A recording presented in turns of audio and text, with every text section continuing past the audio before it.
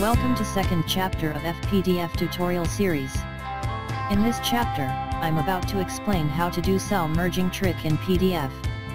As an example, we're about to make scoring table headers which look like this. This is the most simple example which contain both horizontal and vertical cell merging. And this is the detailed measurement of each cells. Here, the default row height is set to 5. So, two vertical merged cells should be 10 in height and so on. In FPDF, there are no cell merging options, so we have to do it ourselves. Let's begin the explanation. The first cell, is 2 row 1 column merged cell, so we set the height to 10. Second cell is same as first but different width. The third cell is 1 row with width of 100 because it is a horizontally merged cell which occupy 4 column with width of 25 each.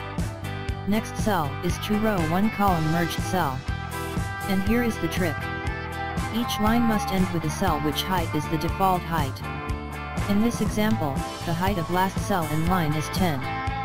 So we need to make a dummy invisible cell with default height. To do that, we just need to make a cell with height of 5, width of 0, no border and no content. And do not forget to make this cell a line ending cell. This is because the vertical position of next line is based on the last cell which defined as line ending. If the cells in line is taller than line ending cell, the next line will overlap those cell. First cell in the next line is placed immediately below imaginary line as shown in this illustration. Because the first and second cell of previous line is occupied two row, we need to make a dummy invisible cell which rolls as a spacer to align visible cell. So we set the width to 70, no border and content. Next 4 cells is normal cells. This is the end of second line, because next cell is already occupied by cell from first line. Next line and beyond will be normal cells containing data. Now let's bring it to codes.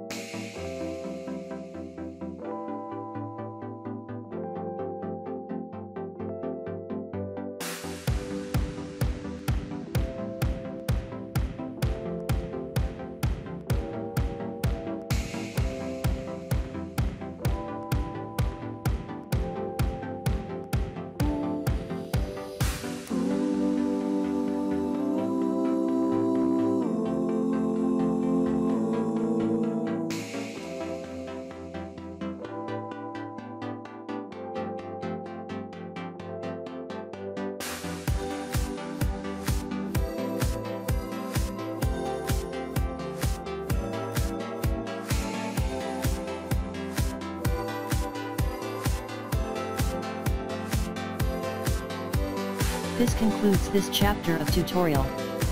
Thank you for watching. See you in the next chapter.